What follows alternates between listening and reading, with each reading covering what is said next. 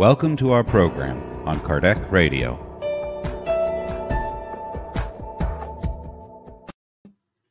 Welcome, dear friends, to Kardec Radio at 11 a.m. in our Health and Spirituality program. We are here back one more Saturday, and what a joy! What a joy because today we're going to be delighted to know more about research on the afterlife, on spirituality, on the mediumistic rites, writings of so many. We have our guest, Stafford Betty, Professor Stafford Betty is here with us again. Yes, it's the first time that we're having him here in our audiovisual studio. We used to have our conversations on audio format only, and now, thanks to the advancements of internet, we are able to have this remote studio where we can have everyone here with us. What a joy! And you know, it's uh, almost December and we're around the corner from a new decade. Yes, the actual third decade of the 21st century is coming along as 2021 is around the corner. There's so much to learn. More than ever, with the pandemic and many social, political, economic crisis comes along, we're being invited to revisit our our values, our principles, our thoughts, our feelings, our true inner paradigm. We're going to talk about this and much more. And we want to invite you to this conversation. Feel free to ask your questions. And if you need any particular spiritual assistance, don't refrain from writing to Kardec Radio at kardecradio at gmail.com and we'll be able to assist you in your needs. All right. So, Dr. Professor Dr. Stafford Betty, for those who don't know yet, he has earned his PhD from Fordham University, where he specialized in Asian religions, thought, and Sanskrit. Today, he's a professor of world religions at California State University, Bakersfield, and has evolved as one of the country's most acclaimed experts on the afterlife. In 2011, he published The Afterlife Unveiled, his most popular book, one that we discussed here at Kardec Radio. And you can, you can always revisit the interview if you go to our podcasts. We have more than 4,500 podcasts at Kardec Radio. And one of them is this the whole interview with uh, Professor Dr. Stafford Betty on The Afterlife Unveiled at Kardec Radio's SoundCloud channel. And a more recent publication, the most recent one we're going to discuss here, is The Afterlife Therapist. He has published 14 books and he um, writes for several um, newspapers and he is also a contributor of the HuffPost he has much to share with us. His knowledge, his dedication to an area that interests us very dearly about the afterlife. Some people ask me, but Maneas, I want to talk about this life. But when we talk about the afterlife, we're talking about this life and its inevitable consequences in the afterlife. What is the most intriguing part of it all is that he researches scientifically researches on the many um, writings, mediumistic writings about the afterlife, and he brings it all together for us. He has much to share, there's much to learn, and we're delighted that he's here with us today. Thank you, Dr. Betty, for being with us again. well, it's great to be here. I think it's the fourth time we've been together, if I'm not mistaken. you're and, right. Uh, in, in, in the past, I've thoroughly enjoyed uh, you personally. You've been a wonderful interviewer, uh, mm-hmm. and you've helped bring me out better. And so we've been able to help each other. And what can be better than that? Yes, you know what's interesting. I wanna I wanna share with the public about why, for those who don't know yet, why did you decide to be focus on this the afterlife writings? What made you gravitate to this research?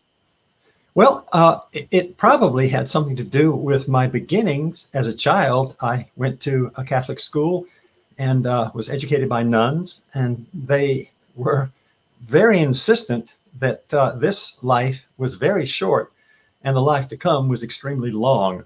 And so I took that to heart, and, and, it seemed to me that it was important to know something about that very long life that was going to inevitably reach us. Mm-hmm. And so I was intrigued as a 10 year old uh, by what heaven, hell, and purgatory, that was the way it was presented at the time, was all about. Uh, mm-hmm. and I was given a lot of information and was frightened into, you know, puritanical behavior, as so many serious Catholic boys were at that time. Mm-hmm. Uh, and uh, I have since learned that there was quite a bit of misinformation that I received, and and uh, I, I, needed some corrected some correction along the way. And I started researching what in the world there might really be that's going to happen to us when we die. And so that was the beginning of it, I think. I also would answer that more logically, um, completely aside from my beginnings and those early influences. It seems to me just a rational thing to do to uh, find out as much as possible about what awaits us after death, which is, you know, right around the corner. Uh, and when when I let's put it this way, when I take a vacation with my wife mm-hmm. to some overseas destination, how do I prepare for that? Mm. I buy a guidebook. Now, I want to know as much about Ireland as possible before I get there and begin to hike the country. Both my wife and I are hikers.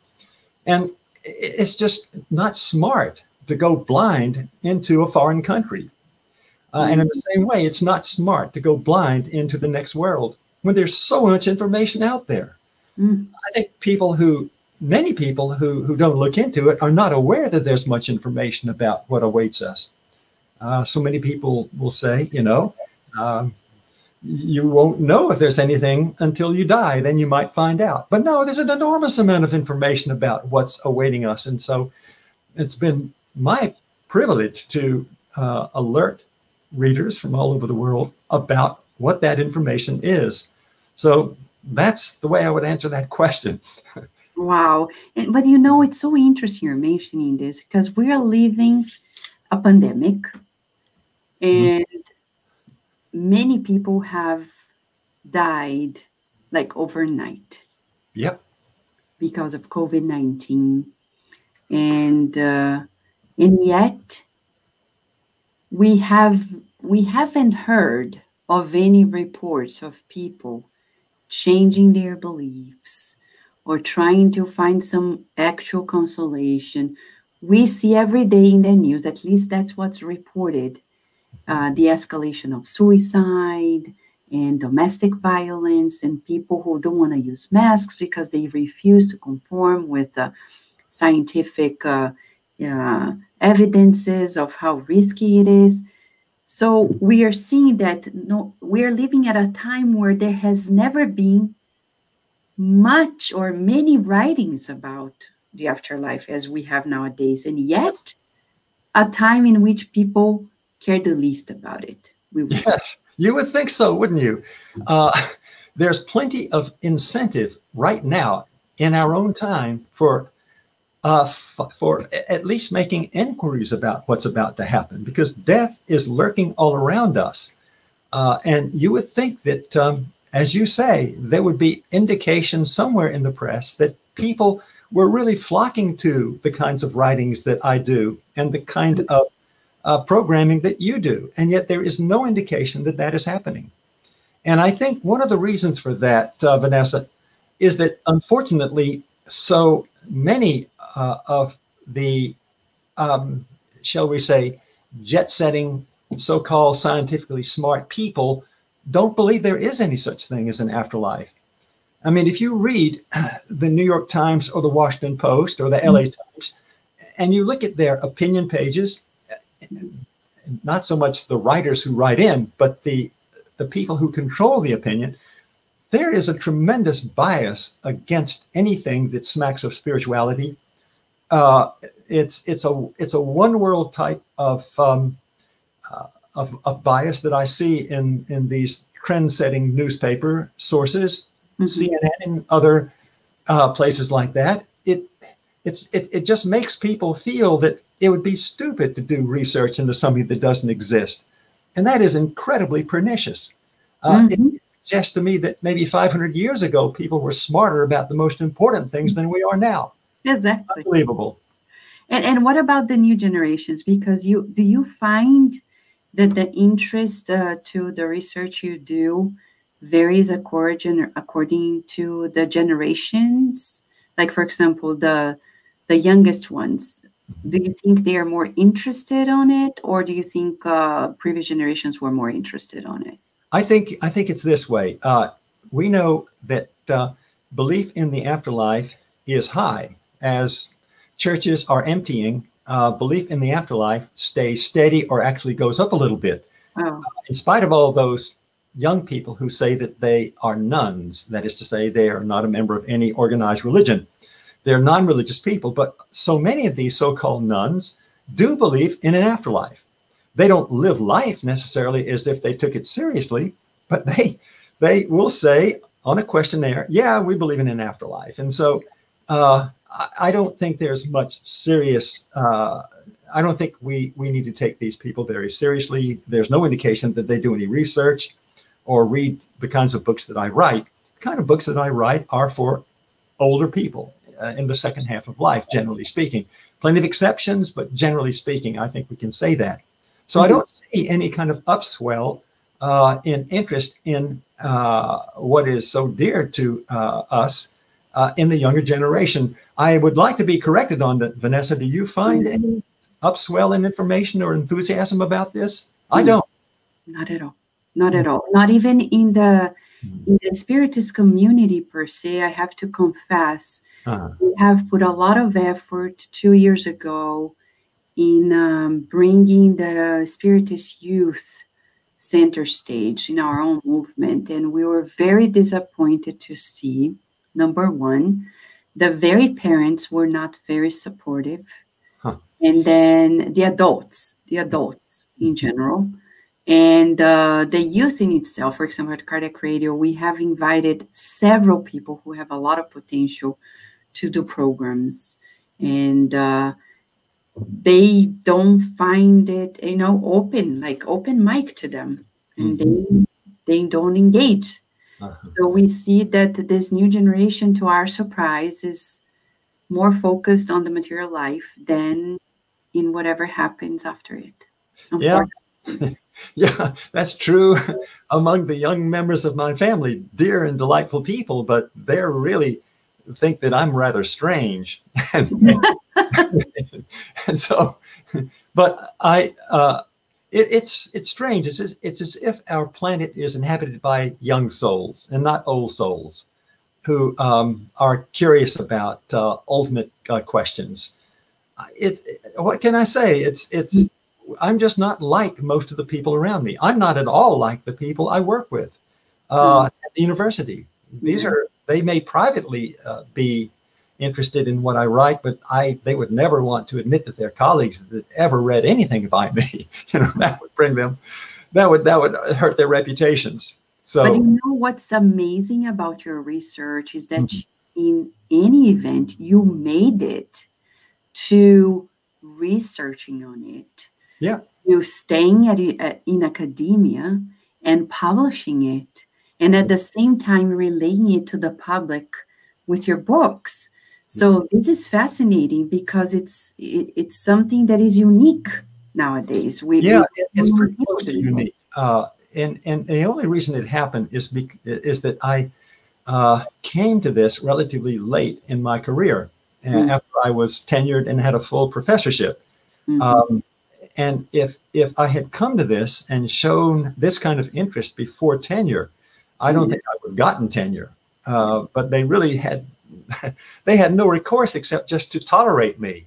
And so, and so, what I did was to make friends from all over the world while making very few friends at the very place where I worked. Um, and so, so it goes. It's a mysterious and strange world, but there Mhm. is over overwhelming interest in the work that I do. Um, if you look at people who have like minds from all over the earth, Yeah. there are plenty who do, but Mhm. they are still in a minority, without any question, in a very small minority in terms of real interest. On the Yeah. other hand, you know, um, many people uh, are very quick to point out, yeah, I believe in an afterlife. They, you know, they may be Christians and and they they go to the Book of Revelation and they think, oh, well, that's you know, that's all we need to know. And frankly, I think the Book of Revelation is a big bore. But nevertheless, um, that's uh, if they're happy to deal with that, that's okay. And I think that really many of them are afraid. I'm talking about Christians uh, Yeah. are afraid to look elsewhere. Uh, many Christians are simply afraid of going to hell, and they fear that they might be encouraging that destination by looking at the kind of uh, research that I do. And it's a secular research. It's not. It doesn't know anything to um, what the saints of the past or the teachers of the past ha- have told us about the world to come. This is relatively new stuff, and it's frightening to many conventional people, traditional people, and they don't want to get. They don't want to endanger their souls. So. I have a hard time working not only with my friends who uh, are uh, secularized, but also with my more traditional Christian friends who are reluctant to read what uh, I write. so it's, Yes. you know, I feel sort of boxed in by both these sides. On the other hand, there's this wonderful uh, reception that I get from people who are of like mind, and there are plenty of us out there, even though we are in a minority. and we commend you for this because it's needed and and i want to mention for example in brazil Uh-huh. despite the fact that the country is mostly catholic because of the impact of the medium chico xavier there um, he became so respected in the country as a humanitarian etc that Nowadays, we have several universities opening their doors to research on mediumship and the writings of Chico Xavier, etc., etc. So it's a new momentum there. And sometimes I talk to my colleagues there, and I say, "Look, we cannot do this here. It's it's different. In the in Brazil, you can you may talk about it mm-hmm. at some universities, but here." Mm-hmm. It doesn't happen this way because they often ask me, Vanessa, can't you do research on this, friends? Uh, we are at a different moment in the United States. So when, Yeah. when I see somebody like you, I say, you know, you are one of a few who are really at the frontier of a field that may expand in the future. You're a forerunner, you know, of Yeah, it's- it's a shame that that is true, and, and, and you're quite right about Brazil. It's a unique country uh, in its interest uh, and in its openness to uh, this kind of research, Yeah. and it has everything to do not only with Kardec, who is pivotal, but Yeah. also with Chico Xavier. Yeah. Um, but we don't have any Chico Xaviers running around the United States, No. unfortunately. Um, and if if or they may be out there, but I don't think they're going to get um, much notice. And Yeah. so that's just one of the quirks of history that Yes. Brazil is so unique in the world. Exactly. And and I, I just want to mention to the public, you've read Kardec's books and some of Chico Xavier's books. Absolutely. And, and what do you think in general? Oh, I mean, you know, I if I were to show you all of the underlinings that I did when I was reading the Spirit book, you know, I have it right here somewhere. Uh, uh, and and, uh, we're talking about Kardec's great works. I've read at least three books by him, cover to cover, and I am constantly underlining. Uh, you know, almost every page is filled with underlinings because I was so struck by the clarity and by the boldness of his vision, which I share. So, yeah, he's, he's um, a number of books I've simply taken to heart. Without a Right. He is one of them. Now, he's not the only one by any means. He is just one of those several dozen uh, critical um, um, sources that Mhm. uh, I've had to to master in order to to, to make to write my books. which Mhm. basically my books are syntheses of several dozen of these uh, mediumistic geniuses. So um, I, I have no ability uh, along these lines. Let me just say right away. But I think that's what makes me strong. I'm not biased towards any one particular um, point of view or message. And you need somebody like that who has no bias. If if I were, for example, uh, gifted in this way, if I were uh, an automatic writer or uh, a medium myself, I'd probably be too oriented toward getting out my version of things to Mhm. my particular style of things. And I don't have that ability. So I, I come at this without a bias and look at all of this information and then synthesize it. And it, it that's that's that's my strength, I would say. So my gifts are limited, but they're but they're philosophical and and you need somebody like me, I think, in at least in America you do. No, I agree. I agree. And historically, we need people like you who have no bias and who go there, like research and Mhm. see what Kardec said. Mhm. That is a must. The universality. See how different people from different countries, different cultures, Yeah. they bring the information. They have never talked to each other. They lived at different times as well. And here's a commonality. And then we ask, where does this come from? Because people are telling the same stories Mhm. and uh, they've never talked to each other. Yep. Yeah. where does it come from? Right? Absolutely. That's exactly the orientation that I, I come at this with. And, Yeah. and, and for those who are watching us, I want to share that if they want to know more about Kardec, last year there was a beautiful movie that was produced by about Kardec and Hmm. his life. It's on Netflix. So if people have Netflix, they can watch it. Oh, It's- yes. right? Yes, I did see that. Right.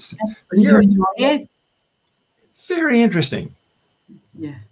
Quite interesting. The struggles of his time, like Yeah. facing so much the the, the, the extremes, orthodox religion and the, the orthodoxism in science and this big division. It's like the divorce between science and religion. Yes. It was And all then- there in Right? Paris.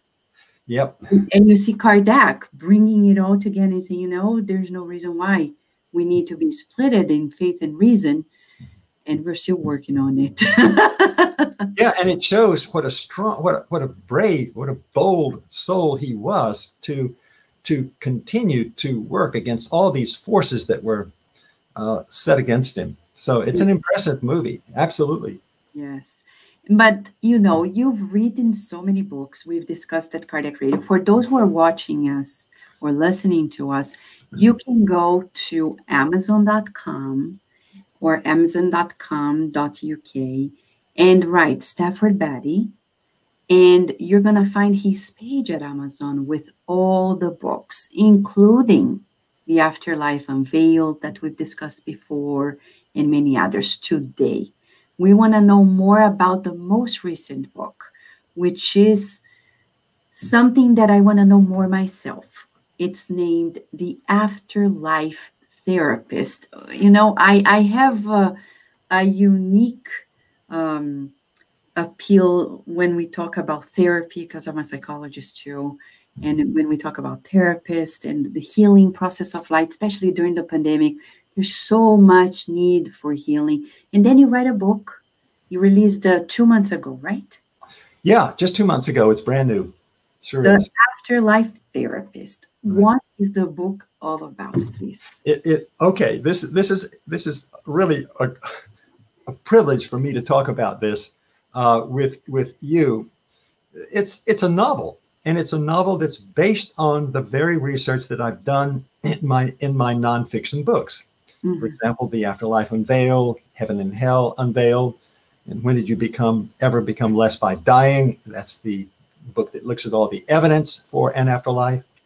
So these are the three major non-fiction uh, non-fiction works that I produced in the last oh uh, uh, nine years. Now, at some point, um, first of all, I, I I'm capable of writing novels. I've written a few before I even came to this this interest, uh, and I I decided, you know, people like to read fiction, and when you write fiction, you can really uh, make more vivid and more entertaining the uh, the message that you want to get across if you want to get across a message and, and i do. I don't write uh, fiction for escape.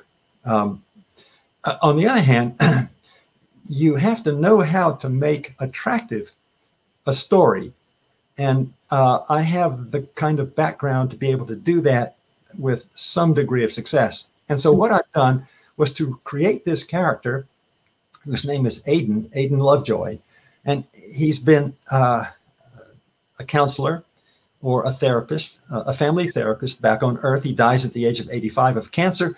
And we find him in the second chapter. First chapter describes his death, and the second chapter describes where he finds himself soon after his death.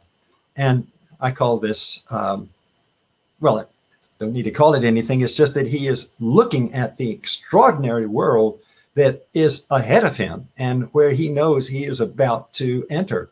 Uh, at, at, at, this point, he's he's recovering. His astral body is a little shaken by its connection to this very sick, slowly dying physical body, and he needs to rest a little bit. But he looks out and sees this incredible expanse of beauty that is going to be the world where he enters.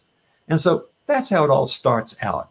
It's a book that is I discovered when I went back and looked at Nosso Lar just a few days ago uh, to prepare for this interview, I discovered, my God, this is so much like Nosso Lar. And yet it, it is not at all clear to me that I had any uh, any particularly strong allegiance to that particular book. But uh, my my novel is based on again a synthesis of all of the works that I've studied uh, and written about over the course of the last nine years. And so it is simply a, a fictional uh, telling of the story that we find in Nosso Lar as told by Andrew uh, by Andre Luiz. Oh, so wow. that's that's it. And and if you were to read this, you would say, "Wow, it's amazing how a guy who who does research can come up with his imagination based on what he knows and write a story that is so very much like Andre Luiz's. So mm-hmm. uh, I think that this book would be of remarkable interest to Kardec lovers, uh, mm-hmm. and particularly those who, who are charmed, as I have been, by so many of uh, Chico Xavier's works. His so works, his autobiographical works. Yeah, so you are an educator and you researched uh-huh. and then to help the public and relate information to the public you write the fiction right novel so you can bring that information to the public that's right that's right because i know there are plenty of people who you know are not at all inclined to read nonfiction on this subject but they might be inclined to read a novel that promises a certain amount of uh, entertainment and, and excitement Mm-hmm. and uh, you know more than a little uh, inspiration i might say there's a great deal of inspiration uh, in this novel um, and it uh, it takes us uh, in uh, across 19 years after this man's death to his ascension at the very end of the book oh. he's a person who wrestles as i think we all do with whether we, we return to earth for another try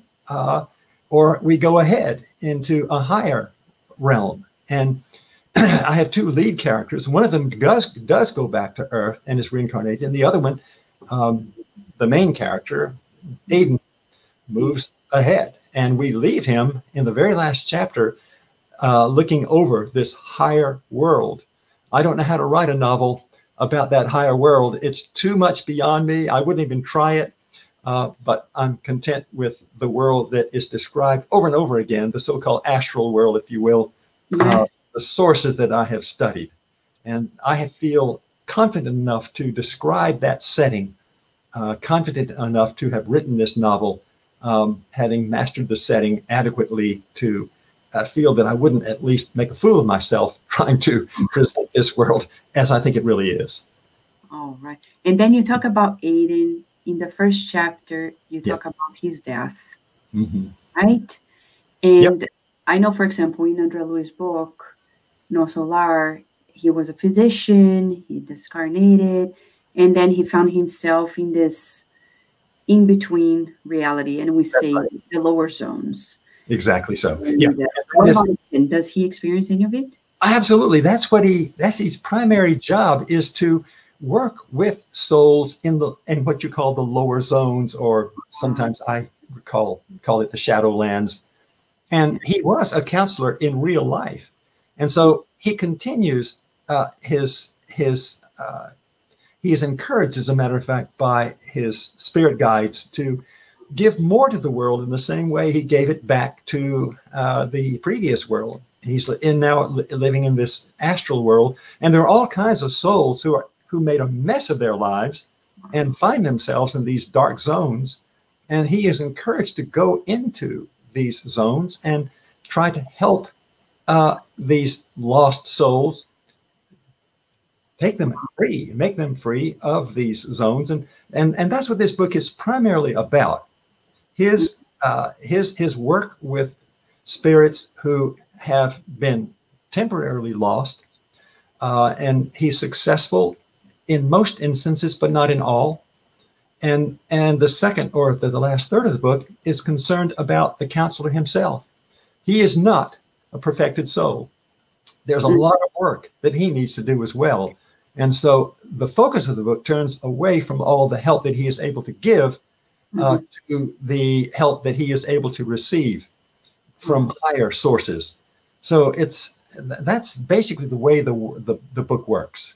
So we, we come into contact with very evolved souls uh, who are his uh, leaders and, and helpers uh, and mentors. Uh, but he himself has been a very effective mentor uh, for all kinds of souls quite a few of them historical characters that I dare to bring into into the book. Um, I hope I don't offend any of their relatives, but anyway, mm-hmm. that's the risk I took, and the publisher went with it. Um, oh wow! And and then you there are chapters you talk about the shadow Shadowlands as a reference to the lower zones, right? Oh yeah, oh and, absolutely. That's and, his work. Not only that, but mm-hmm. he he does his he does work with um, you know some spirits are earthbound and they they break through the barrier separating the afterworld from our world and they come down and and operate as ghosts in our world and uh, i'm sure you are aware that uh, this literature speaks a great deal about the damage that uh, deeply addicted uh, spirits can do to similarly addicted uh, uh, human beings in the in the earth at the at the level of earth at, at, in, in the words in the physical plane. And so one of the things he does is to work with those ghosts, ghost to ghost, as it were. He comes down into our realm and tries to help these, these sad, lost ghosts who are usually not vicious. They're just addicted and they are pulled back into uh, Earth's uh, vibrations. Mm-hmm. And it's up to to Aiden to help these souls move back up where they belong. And he is successful more often than not.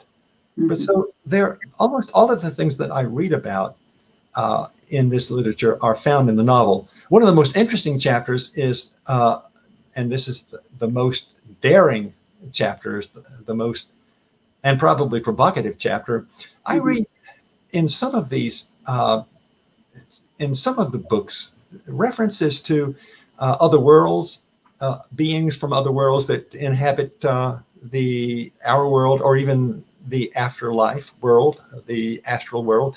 And so I have a chapter about about that, and and uh, I've often wondered how in the world did uh, did the afterworld, did the astral world ever evolve? Where did it come from? Uh, we know quite a bit how the physical universe evolved, But we don't know anything about how the astral universe evolved. Or did it evolve? Did it take some special creation from some higher power? Mm. Uh, or did we, in some sense, uh, create our own afterworld? So these are uh, the most, this is the most exploratory chapter, and it's the one that I would be least likely to say, yeah, this is the way it is. It's quite, but in the other chapters, 29 altogether, are very much based on the kind of research that uh, is available to us all. It's interesting because you talk about something that is very current to suicide. There's a chapter dedicated to it. Yeah. Can you Oh, talk a bit about it? Yes, uh, there's a kid who um, races go karts uh, as a teenager, 18, 19 years old. And there, I did not know that this was uh, a profession for some young men, and that and that there's a famous um, go kart uh, tournament down in Brazil, uh, and so I I have made him one of the leading characters in this book, uh, and he unfortunately uh, has all the breaks going against him. He injures a person in a race. Uh, he didn't intend to injure him permanently. He intended to cut him off and teach him a lesson, and he's devastated by what he's done to this now paraplegic. Um, and his his life at home is falling apart. His girlfriend rejects him. His his he's doing poorly in school, and and and to make a, a long story short, he he commits suicide. He's he goes out into the woods behind his home and puts a noose around his neck and and ties it uh, the other end to a limb and slips off of the limb and and and halfway down he knows he's made a hideous mistake, uh, and we take him into the next world, and we see how he is helped uh, to come back from that uh, that mistake, and it is presented as a profoundly uh, unfortunate mistake because it helped it hurt so many people. Not only did it hurt him, but it hurt his parents and others who loved him. But on the other hand, I want to make it clear that suicide is not a terminal tragedy. Mm-mm. One does recover from that, and and we show how he recovers and how in order to to make amends, he actually begins to work with other potential suicides uh, telepathically, and and also those who succeeded, like him, in becoming a- kind of mentor to them. So yeah, suicide is something that uh, we deal with in our own world, and uh, and it carries over with interesting consequences into the next world. And Yeah. there's a lot written about that. This is a fairly easy chapter to write. Yeah, wow. But that's so important nowadays because Yeah. how can we talk to many people have requested me recently, like to talk about, you know, how to prevent suicide and Yeah. from a therapeutic point of view, from a spiritist point of view. We have several books, as you said, including the, the memoirs of a suicide by Yvonne Pereira. A beautiful, beautiful report that talks about the afterlife in the rehabilitation process. Yeah, Said, exactly. Yeah, it's all about rehabilitation in the next world, and that's what uh, what uh, my hero is is is about. It's never about punishment. There's no indication that there is anything in the universe that is interested in punishing anybody, but there's a tremendous commitment to rehabilitating, and uh, that's a very difficult process. And most of us don't take it seriously. Just what you're saying we need to highlight because in a world that is suffering so much Mhm. and uh, many people refusing to to really get real or face the truth what's most important is to know there's no punishment there's only correction education it's like educational uh, steps processes right Absolutely. you identified in your research across the board that there is this evidence from different mediums that people are reporting to this rehabilitation process. There is always a new beginning, an opportunity for renewal, right? Absolutely, and there's not uh, an ounce of truth in the uh, uh, in in in the scriptures of the world which speak of an angry God um, that is, you know, that is judging us uh, and that condemns us.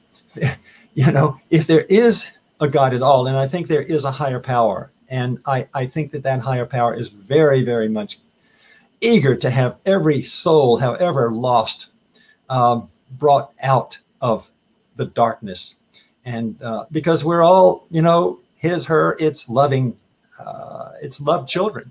And uh, there are no preferences. Um, there's just an eagerness uh, from the very top down uh, for rehabilitation that we can't force it we're not allowed to force it but um, we can certainly do the work that's out there to be done to help these lost ones come back and uh, that's that's that's one of the great games of life right here on this earth. Yeah, and, and, continues and, on into the next world. Yes, and you talk about the earth. There's a chapter about the earth. There's a chapter about the tsunami.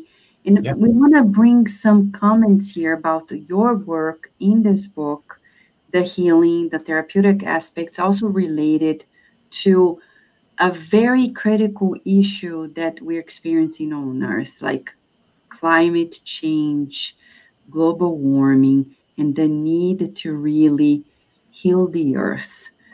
What would you like to share with us in regards to the book that you wrote and and this the natural disasters that are you know coming along as we are in need of healing the earth right. You know this is not anything i would ever dare write um, uh, about and send it to a newspaper but it certainly does occur to me and i wonder about this. I wonder if this pandemic is a kind of invitation to all of us to get serious about these major concerns that you've just mentioned. We are, most of us, most earthlings are simply dithering their lives away. They're not really doing much. They don't have uh, an attitude of service. They're not willing to make uh, sacrifices in some small way to make the world safer uh, for the present as well as for the future. Um, one of the one of the problems is a, a terrible failure to commit to uh, something as basic as as overpopulation. I mean, we, we are overpopulating this world at a rate that is is drastic, and we need to become more careful about this. Uh, and so it's as if the you know okay, foolish children, you are not able to control your own sexual appetites and, you know, this is just a warning. This pandemic is a warning of far worse things that are going to have to happen to control the population of your planet. And this may be only the beginning, a kind of a foretaste of a far graver pandemic uh, that will hit us in, I don't know, in the next 75 years or so. You're right. We simply cannot con- continue to overpopulate in the way that we do. We're simply irresponsible children in so many ways and when we behave this way, the universe has a way of correcting us. And that correction can be very, very painful. And so I do wonder about the big issues that you just mentioned. Mm-hmm. And and when I see, for example, Andy and his journey, he's reaching out and yet he's being helped, as you mentioned. Mm-hmm. And uh, I think one of the good news in your book as well is about the fact that we evolve because yeah. he reaches his ascension. Mm-hmm. And uh, it, we're seeing at a time right now on earth uh, through social media so much division. It, we're, we've never experienced so much extremes in people's opinions. That's very true. I've seen nothing like this before like you've never seen that before either. Mm-hmm. And people say that it's mostly due to the very social media and the the the the, the way it's customized. It just potentiates the extremes. It absolutely does. There's I don't think there's any question about that. That social media is a great thing for people who know how to use it well. It certainly has helped me enormously in many, many ways, but it has had a terrible impact on more ordinary people who never give a who never give a thought about the meaning of life and all they want to do is so many instances is just whatever pleases them. And they're not even particularly concerned about reality or truth.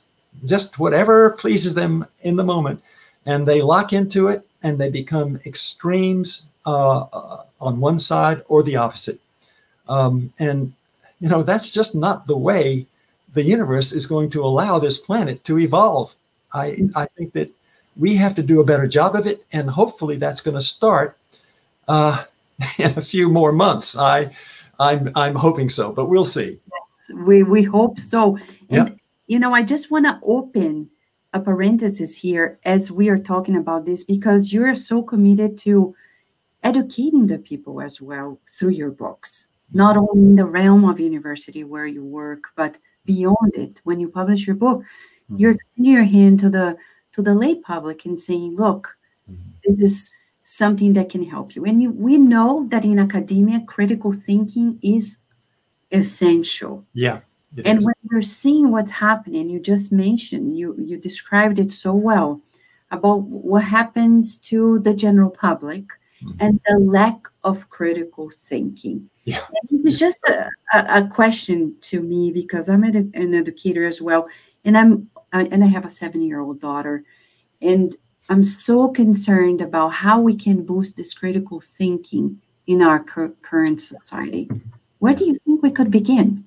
Yeah, I think it belongs. I think it belongs. Uh, it belongs in college. I mean, there's no question but that people who go to college are going to be taught critical thinking skills if the college is worth anything. You know, you're going to get a lot of mischief coming out of college, uh, but you're going to at least have a better chance of being a critically a critical thinker uh, with a college degree. So I recommend that people go to college. I don't like the bias, the anti spiritual bias that I see all over the place in my colleagues. I think they do. I mean, whenever I hear somebody's majoring in philosophy, I think to myself, oh, that's a tragedy. because, you know, I know what happens in philosophy departments. I've been all around it, and kids come out long faced atheists too many times. Um, it's true that their faith was inadequate, it was childlike, but at least it gave them some kind of hope but when you come out of a philosophy degree in uh, the kind of university where I taught, you typically are going to feel, be made to feel that and a religion is for stupid people, uninformed people, unthinking people, uncritical people. I don't like that aspect of college. On the other hand, I very much prize the critical thinking skills that come to us. It, it is of enormous importance, uh, it seems to me, I must say, I'm glad that you point out that my books are read mostly by, you know, ordinary people, uh, the general public, uh, and they are. And frankly, uh, I gave up on uh, reaching out to academics with these books. Mm-hmm. I do sometimes write articles. And I used to write a lot of articles because it was required of me mm-hmm. Uh, for publication, and so I I know how to write those articles and how to address that audience. But I think that they are have have so little interest in what I'm really what is dear to my heart today, that I'm just writing for more ordinary folks, just good folks out there in the society who are usually most of the people who read my books, I think overwhelmingly are college educated people. Mm-hmm. Uh, but I, I, they, they are not academics typically. Uh, on the other hand, I don't have the sense that that many of them are. Yeah, and, and the sense that many more women than men read my books. and and I would say when I see your books, it's so important because you're bringing to the general public uh, information. I consider it true information, though yeah. it's written in a fictional way. Mm-hmm. It's it's information that can be very uh, consoling, healing, and I would say, quoting Kardec, uh, when you use your reasoning, your faith becomes unshakable. Yeah doesn't it? Though, you know, it's it's interesting that um, I my my colleague. What was I going to say? But my my colleagues. Um, uh, escaped the, the thought escapes me, but uh, yeah, it'll come back to me in a minute. It was something I wanted to say about the, the, the people who who read my books. Oh, I remember what it is. Yeah, I am a member of a closed um, society of people who are very interested, many of them with PhDs, almost all of us have advanced degrees, who are interested in this subject. There are about 75 of us. And I can't even reveal the name of it. I can't say anything about the people in it specifically, but I can say in general, at least half of them, as a matter of fact, more than half of them, are trying all the time to convince the smart people of the world, the the PhDs, the people who control opinion, to listen to what they have to say and they're trying to get across the same truth that I try to get across. And they're failing. And it's mm-hmm. frustrating to them. They're just not making much headway um, in, in, in, in, in those higher, more rarefied circles. Whereas I'm making great headway with ordinary folk. People are swarming to my books, uh, and and they are learning, and uh, I I think that's a wonderful thing. Mm-hmm. But I don't think that that uh, we're going to have a spiritual revolution from the top down. It's going to come from the middle class, from the college edu- educated middle class who can think, who can weigh evidence, and and basically slowly change the society. And uh, but I don't see it coming from the top at all. No, you're right. We agree with you. We agree. We're seeing that, for example, in Spiritism. Like if we give an example in Brazil, uh, the first waves of Spiritists there were from Europe in Brazil, and then the intellectuals who knew French, the Kardec, literature into Brazil at the end of the 19th century. In the 20th century, we saw it spreading out through the common people. Uh-huh. So you're right. It was this other wave that really make it change. And now we can say Brazil is the most spiritist uh, um, society in Brazil, like in, in you see in the world. Oh yeah, in the world, yeah, and and and you see in the in the Brazilian TV, for example, the the, the greatest networks they they they create their programs based on much of this knowledge that came along. But you know, I've been in the U.S. for 22 years, and when I left Brazil, it wasn't very much like Brazil wasn't as a spiritist like it is nowadays. Mm-hmm. It became more popular in the last 20 years. That's like, wonderful. Throughout. yeah. It's a big change. It's, I have colleagues at university in mm-hmm. Brazil who now write to me saying, Oh, Vanessa, I am a spiritist as well. But when we were there, nobody talked about it. Yeah. Yeah. Talk about it. Yeah, and, that's wonderful news. It's possible. If it happens in Brazil, it can happen anywhere. But, uh, you know, it and and I don't see that as a put down. It's just that Brazil is is a is a cross section of human nature, and so and so is America. So what happens there can happen here. Yeah. Um, and it, as I say, as you say, it's going to come from the middle class, and these are the people who are listening to what we have to say. And it's it's it's just maybe a matter of time before uh, some of that information becomes prominently exposed and respected by uh, the upper class, by the by the trendsetters, by the intellectuals who you know write for the New York Times and the Washington Post. These are the people we really need to reach. We've been unsuccessful so far, but it may well be that uh, those trendsetters' children, or maybe their wives, will put a bug in their ear and begin to force them to take more seriously what we're saying. There yeah. are hints of this every now and then. I do see hints of it but I just don't see much of it. You're right. And and the, the topic about critical thinking here, uh, when I read your books, I see this balance uh, because some people write to reach people's hearts, mm-hmm. others to people's reasoning. And in your book, especially the afterlife, we can see, and the other books that I've read before too, it's a mix it is a mix. You're quite right about that.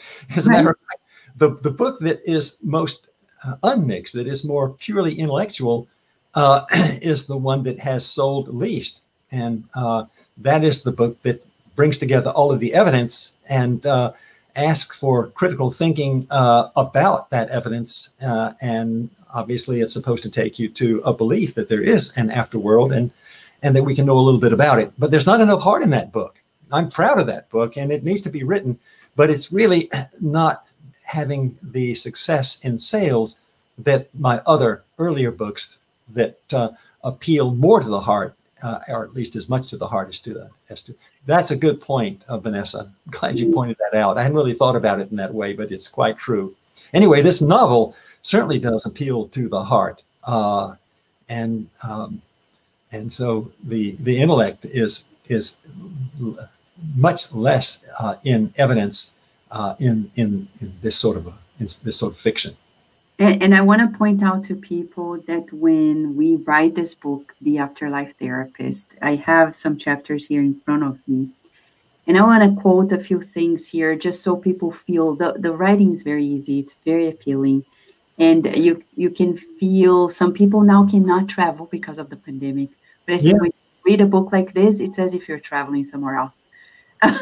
you feel transported to when I'm reading some of the dialogues here in the scenarios, I feel transported to another scenario. And I would say, as a neuroscientist, that is as valid as traveling physically because you're you're totally transported right. emotionally mm-hmm. Somewhere else. Yeah. So he counts. So yeah. yeah. so true. You really are. And you know, any good piece of fiction, serious fiction, is going to make you uh, into a more compassionate human being because you begin to realize, hey, this is the way other people think. And that's new to me. That's interesting. Yeah, yeah it impacts. I ask you the ultimate question about the book, The Afterlife Therapist. I want to share a little bit with the people who are here with us. And uh, just uh, I selected here on chapter 2 mm-hmm. And here we have Aiden. He's already in the afterlife, right? And he's having a dialogue. There is a man next to him. Let me just say one thing. I'm going to break in. This is exactly the, the reading that I had thought I would do, and you absolutely pinpointed it. So oh, you do the reading. That's amazing. I would love to hear in your voice. Well, well, I can, but but it, it's just astonishing to me that we we think so so clearly. And and, and this is, as you say, a mm-hmm. chapter that addresses the non believer because the person that Aiden is having a conversation with, uh, a person who has died just as recently as he has, as of cancer, who has no belief, he is absolutely certain there's no such thing as an afterlife. And so there he is lying on a bed beside Aiden, and Aiden decides to have a conversation with him. And so what I'm going to do is to simply read to you what you are about to read. And if you'll permit me, Vanessa, I'll go ahead and do it. He says, and this guy's name is Rupert. Uh, tell me about yourself, Rupert. It suddenly occurred to, to him, to Aiden, that he was picking up in the astral world where he left off back in the physical. He was counseling. Can you believe it? These idiots are trying to tell me I've died. Why do you find that? Why do you find that so hard to believe? Rupert looked dubiously at Aiden. Look, friend, I'm a scientist. I'm thinking, I'm talking, my brain is working. It's working better than it has in a long time, much better. If I were dead, my brain wouldn't be working at all. I haven't been able to get this obvious point, this obvious point across to anybody. I'm surrounded by religious nuts, and they call themselves nurses. It's amazing. This is a beautiful place, but it must be a cult. How did I ever end up here? Where's my wife? He then darted a hostile look at Aiden. Are you in with him? Hmm. Don't you think it's odd your wife hasn't visited you? I'm not sure she knows where I am. I told the staff to call her, but they said they couldn't. My wife's not with me either. She knows where I am, but she can't reach me. My name's Aiden. He extended his hand and smiled, and Rupert took it hesitantly and shook it weakly. We'll be out of here in no time. By the way, if you don't mind my asking, how old are you? 88. You? 88. Aiden looked around and called out to a nurse. A young woman glided over. Yes, how can I help? Would you bring me a mirror? I'd be happy to. She glided over to a counter and came back with something that resembled a handheld mirror. He glanced at it and gave it to Rupert. Take a look at yourself. Rupert took it and looked. Good God, I don't look a day over 40. What the hell? The nurse laughed, and Aiden smiled and asked, Mind if I have a look? He took the mirror and discovered the same thing about himself, except that he looked more like 50 than 40. He looked at Rupert and said, It's amazing what death does for one, don't you think? Rupert looked at Aiden, stunned. Death? Christ, you mean? No, that's impossible. He put on his sternest face. I took you for an educated man. He's educated, Rupert, said the nurse with a laugh. In fact, wait a minute. said Rupert, sitting up suddenly on his bed. You mean, you mean, his face lit up. He smiled a broad smile of happy shame and looked around as if he were the biggest fool in the whole world and said, Holy shit. Rupert, you finally understand, said the nurse. You get it. She looked at Aidan and winked, then back at Rupert. Now we can release you. And incidentally, back on Earth, there's a memorial service scheduled. We didn't think you'd make it. But now we'll send you on your way and even escort you. Of course, no one will see you. It would be like you were spying, seeing who attended, listening to the nice things people say about you. It's up to you. Rupert was too astonished to answer. Aidan extended his hand again, and this time Rupert, with head slightly bowed, sheepishly shook it with more conviction. So that's the way the second chapter ends. We and take so, you down. so, so it's we have a lot of fun in the novel. It's and we we know these types, and and and the literature is filled with accounts of people who are not aware that they've died um, when they first come over. Uh, and, right. and so they have to be convinced and persuaded, and sometimes it takes a long time. This guy got lucky because Aidan was happened to be bedded right next to him as they were recovering. I love the way you write, and I would say, you know, we're we're just around the corner from Christmas, and I would say, people, please give this book to everyone you know. That'll be good, and and and, and and write a tiny review of a sentence. That would be great. My uh, book, it's so yeah. so beautiful. Uh, by the way, do you already have it in in, uh, in audiobook? Yes, I do. Um, um, I, I have my first book, um, The Afterlife Unveiled, has been quite successful as an audiobook.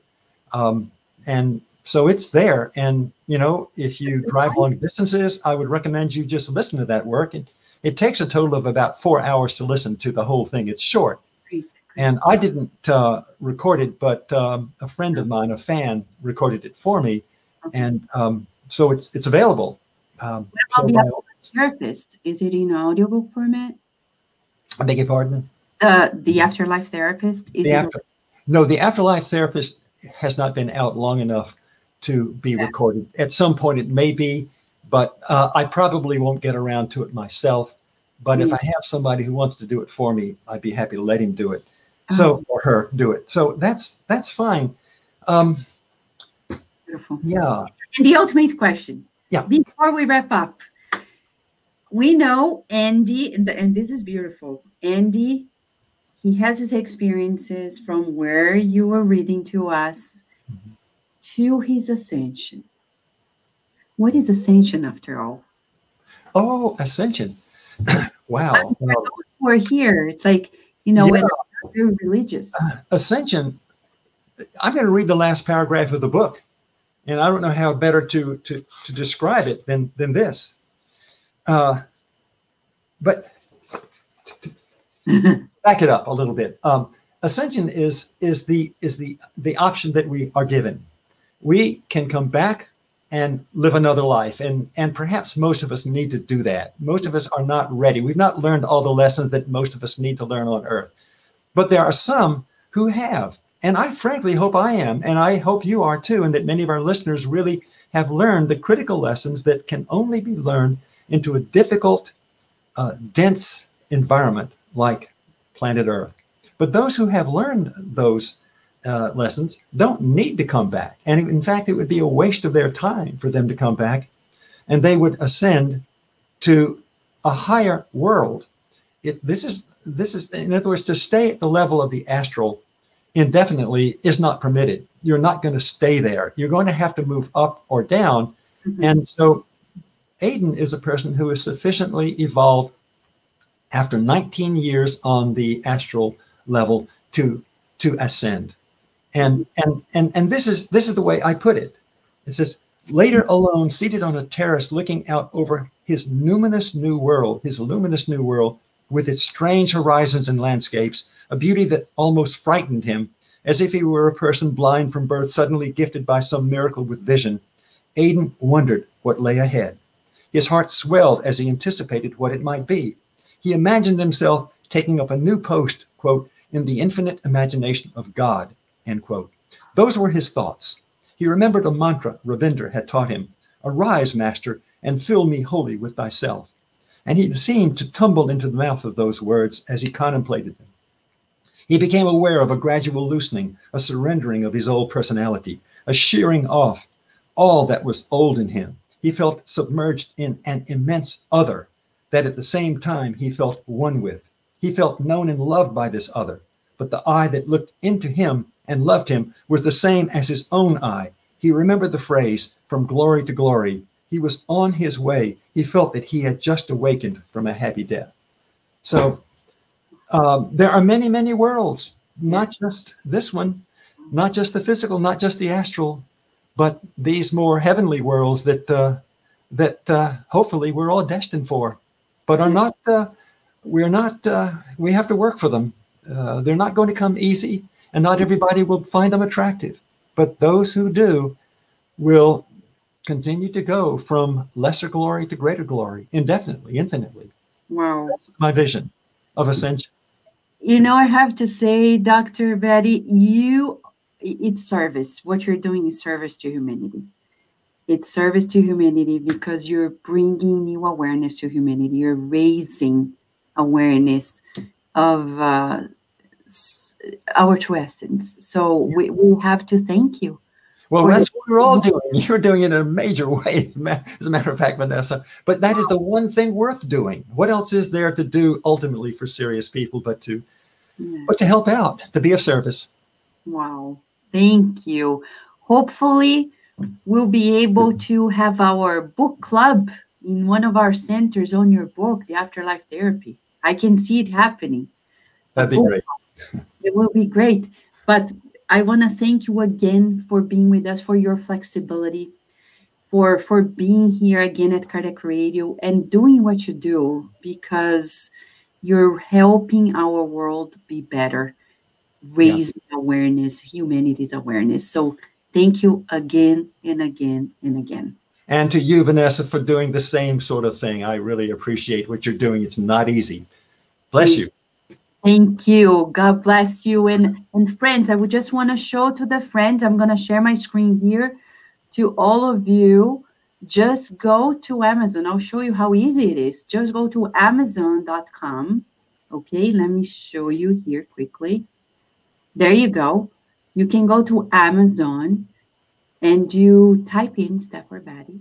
And once you're there, you click on Afterlife Therapist and once you click on it, you will see that you can get a hold of the book and you can buy the ebook or the very hard copy, and it's going to be a delight. So, thank you so much, Stafford Betty, for being with us Thanks. at Radio Thanks. And also, the Afterlife Therapist, it only costs $9 uh, if you buy it uh, digitally. So, it's, it's not going to put you out. Anyway, thank you so much for for giving me the chance to uh, to explore this with you. Bless you.